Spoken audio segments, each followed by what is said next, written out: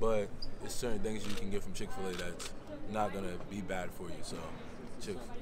So where's uh, uh, last year when we talked, you had your Philly four. Where's Fatts now?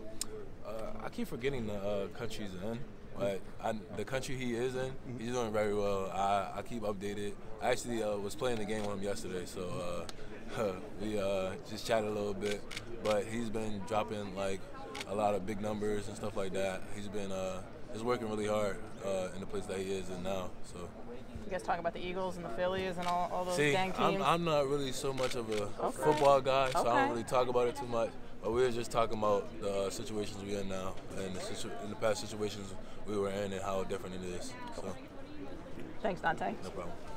Donta jumped in, jumped in late here. I know you were kind of just talking about you know the transformation your body. Coach talked about losing 30 pounds, but wh- what all did you do to kind of lose that weight, and how are you feeling now? Uh, it wasn't just me. Um, I had a number of people supporting me, like uh, Coach Kyle um, and my coaches and my uh, teammates as well. We, uh, as a team, did conditioning, and we all pushed each other to get better. And I even pushed myself harder just to make sure I was in the best shape and best form I could be in, and uh, just uh, trying to tidy up my nutrition. Uh, Kyle really helped with that, trying to uh, talk to me and list off some things that I should be eating and some things that would be bad for me. And um, I mean, other other than the eating better Chick Fil A, like what other kind of stuff?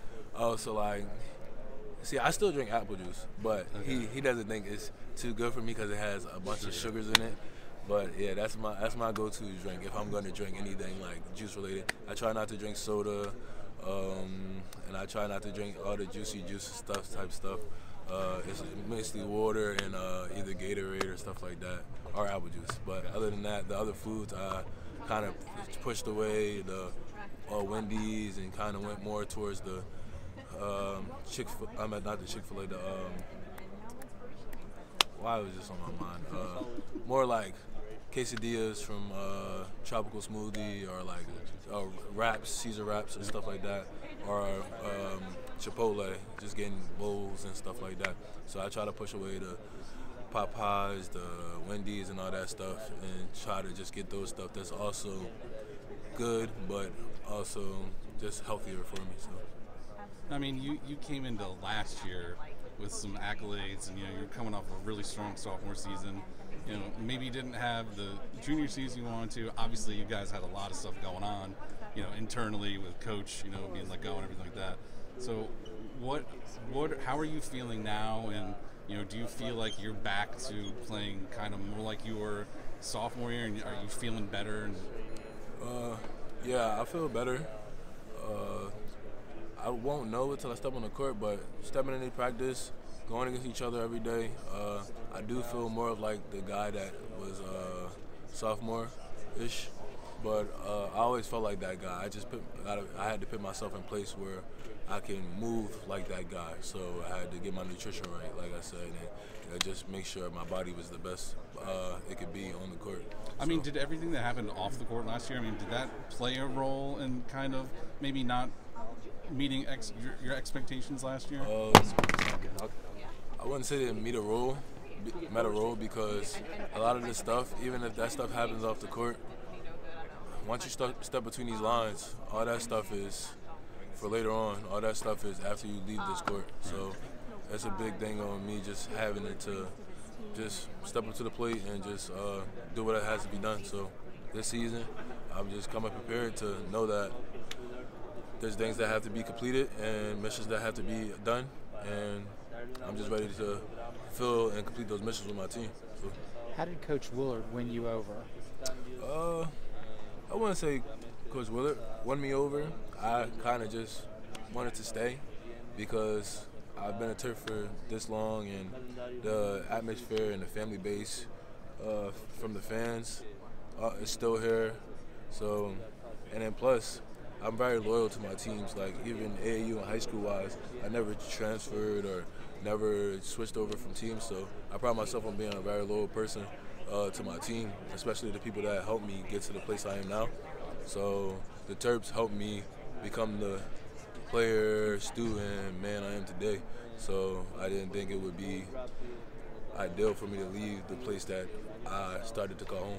That's a great attitude. But I just wonder, I mean, what's the atmosphere like now in regard? You know, last year we know it was kind of tough for you guys. And well, what's, what has he done to, to make it more enjoyable so far this season? Uh, well, he prides himself on letting players actually play and just let them be themselves. Because at the end of the day, you're a player on the court. You're not a robot. So he basically just prides himself on letting you use the skills that we work on every day at practice and using the skills that you have worked on all your life. And uh, he doesn't get mad at the shots you. He, he'll get mad at some of the shots you take, but more of the times than not, he won't get mad at the shots you take because he knows those are shots you can make. So he always tells you, "Don't worry about that shot. Worry about the next shot." And because these are shots that he knows you can take and know that you can make. So he has a large amount of trust in us and the shots we uh, take, and just letting us be ourselves and step on the court and show the world the talents and capabilities that we have.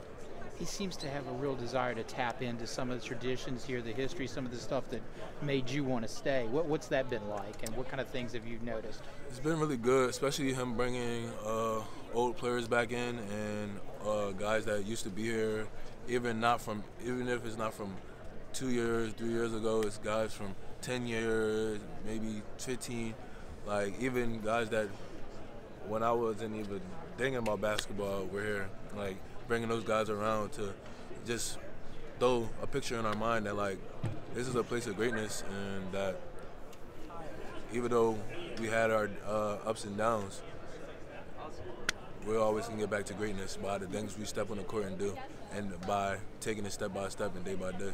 Any of those players in particular mean something to you that you had got a chance to meet? Anybody give you anything that uh, you can use? Met Juan Dixon and um, met a lot of met a lot of those guys actually. Um, but a lot of those guys like Juan and um, why are these names just leaving my mind on the sun? How, how much? They they they really helped us helped us out, just talking to us and telling us like this is a place of greatness, so let's get back to it. How, how much? I know Coach recruited you pretty hard out of high school. I mean, I, I think I want to say, did you take an official visit there uh, to Seton Hall? Yeah, I did actually. Yeah, so I mean, how much did that help the transition, being that you kind of already had a relationship with Coach dating back to high school? I mean, it was nice knowing that somebody that recruited you before uh, is going to be your new coach. But even then, I've been here for three years, so uh, meeting, meeting those people and taking those visits, it was like that was a long time, long time ago. So I had to step towards the future and just see what he could bring to make me a better player and what he could bring to make the team a better play, a better uh, team, and just coming in for him, just knowing that he would be that guy that tries to bring us back into the light a little bit. So. Gotcha.